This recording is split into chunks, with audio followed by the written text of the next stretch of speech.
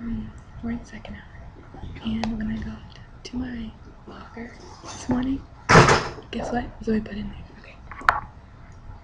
Like these little things. There's and there's this one. She said she's gonna leave me around, leave them for me around the school like all day. And she writes me a note and it says, You're next. And look, she puts a head giraffe by it. That's so good. So now I'm not doing work and Brie is being rude. And I'm drinking Mm-hmm. mm. And Victoria's taking a test. She's being so loud today.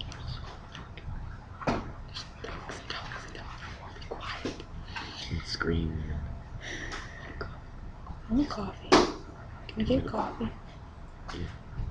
Okay. So my hair was in a bun this morning because I was lazy, and then I took it down. We are doing work. Good. Hmm? This is important.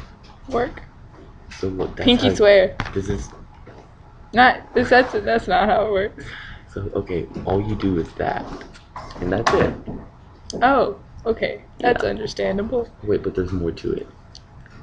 You gotta do that, and you gotta carry that over. Why are you helping me with math? I'm higher math than you are. No.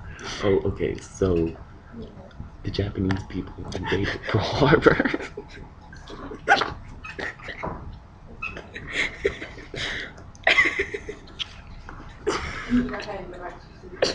He's helping her with history.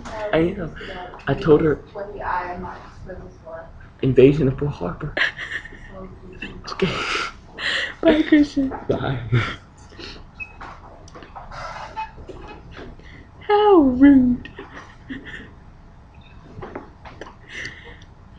So yeah, gotta go now before I get in trouble.